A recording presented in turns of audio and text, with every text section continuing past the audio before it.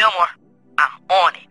A parody of popular police dramas from the 1970s, Fillmore is centered around reformed juvenile delinquent Cornelius Fillmore and his partner Ingrid Third, who are both members of the safety patrol at X Middle School.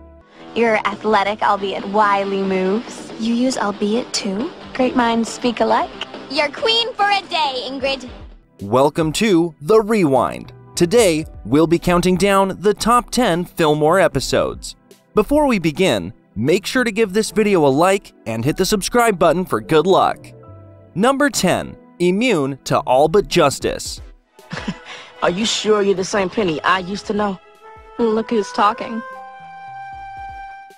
Ingrid and Fillmore have a tough case on their hands. They both know Winston Cotter is the culprit behind a counterfeit baseball card operation, but can't arrest him because he has diplomatic immunity. Fillmore also reunites with his ex-girlfriend Penny, who he rescues before spending some quality time with her towards the tail end of the episode.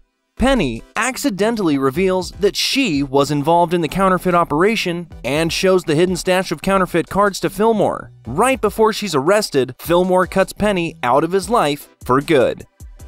And one last thing, baby. That chicken was dry. Real dry.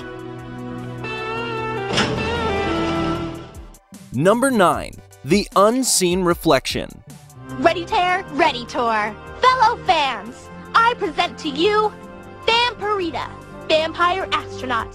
A series of novels called Vampirita has attracted a huge following at X Middle School, and no one is more obsessed than Tori and Terry. When the novel franchise offers to feature its biggest fans in its upcoming release, Tori and Terry work tirelessly on several audition pieces, but each project is destroyed.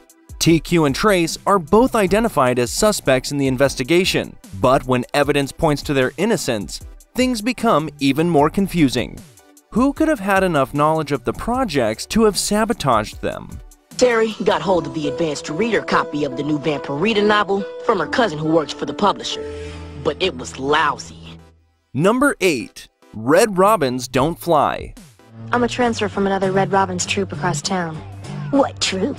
Local 769, Midtown. Midtown, eh?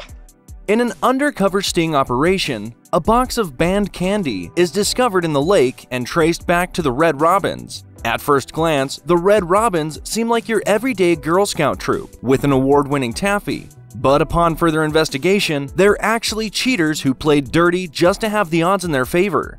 They've only been able to get away with it for so long because they've never been caught in the act. Ingrid goes undercover as one of the Red Robins, but unexpectedly becomes the new leader after their original leader graduates. Will Ingrid be able to shut down the Robins for good, or will she turn to the dark side?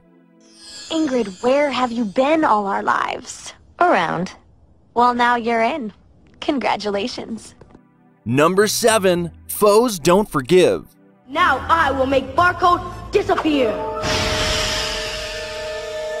Reformed thug Linus Santiago wows the students of X Middle School with his magic act during the talent show. Unfortunately, his disappearing trick with Dewey's robotic dog, Barcode, goes horribly wrong when he can't get the dog to reappear. Due to the magician's code, Santiago can't reveal how he managed to make Barcode vanish, which makes him a prime suspect in the dog's disappearance.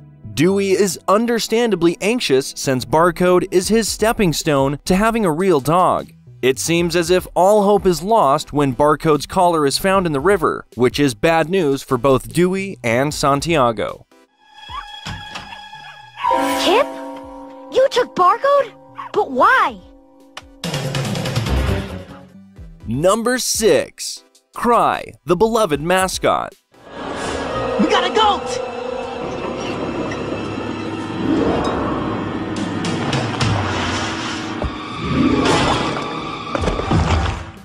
Someone has stolen X Middle School's mascot, Lobsty the Lobster. Time is running out for Lobsty and the Bocce team, and the only possible lead to finding him might come from X's resident psychic, Alastair Greystone.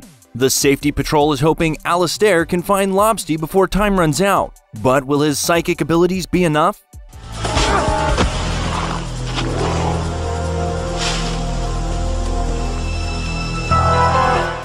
Number 5. This Savior a Snitch. Hey! How come he got in free?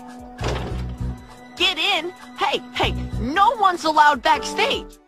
Fillmore is on the verge of expulsion thanks to Principal Folsom's new three strikes and you're out rule. The thing is, Fillmore is being framed for a crime he didn't commit the destruction of the giant Folsom statue made out of 12,000 pieces of macaroni. Now Fillmore has to protect the only evidence he has to help prove his innocence and find the real culprit behind this mess before it's too late. And what were you doing at the backstage door? Uh, I was selling illegal backstage passes for $5 a piece. Number 4. To Mark a Stall No. No! Stainless? The first episode of the series kicks off with some good old graffiti tagging. The school's bathroom renovation project teeters on the brink of disaster as the new tagger Stainless strikes at will. Without a lead on their hands, Fillmore and Ingrid turn to Randall Julian, a former vandal under the tag name Flava Sava, who's currently in solitary detention.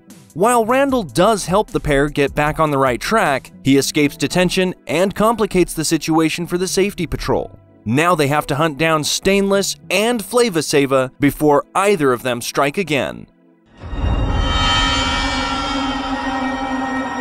Fillmore, this is still wet. Number 3. Field Trip of the Just Guildenstern the Tarantula. Belly up. Eric Orban with a chemical of undetermined origin. Well, well. The science department's tarantula mascot is poisoned, and all signs point to Eric Orban, who's escaped into the city after becoming a prime suspect. Fillmore receives a license to go track Eric down, but not without some complications. As if things couldn't even be more inconvenient, Fillmore also has to contend with a relentless opponent from his bad boy past while trying to solve the case. Now all we have to do is wait for your little friend Fillmore to show up and... Wait's over, Turk. Number 2. The Currency of Doubt A oh, honey. It's our lucky day, T. Oh, Why do you collect these silly tickets? For the prizes, Glassnose. Lighten up. Smoits function as a form of currency that kids can use to get pretty much anything they want. When dance duo Tony and Tina's large Smoit stash goes missing, Fillmore and Ingrid go undercover and venture into X Middle School's underground casino scene. The two discover Toby's gambling habits and make him out to be the prime suspect, which destroys his dance partnership with Tina. Case closed. Or is it? Candy is dandy. Ah, Lady Luck was with you, friend. You must give me a chance to win back my smoits. And number one, play on, Maestro, play on. Alright then, you can quote this. The Ultra Box is the biggest thing for gaming since electricity. I'd do anything to have one of my own. A new game system on the market called the Ultra Box makes its way to X Middle School, and everybody wants one, including the Maestro, a gaming mastermind who will stop at nothing until he gets this new game system for himself. Fillmore and Ingrid track him down, but the Ultra Box gets stolen while he's in custody, which means there's a copycat on the loose. They soon find out that there's plenty more to this case than meets the eye. You want it? Play you for it? Oh, you're on. And you are so dead. Me? I could beat you in my sleep. What did you think of our list? Before you leave, don't forget to give this video a like and leave your thoughts in the comments below.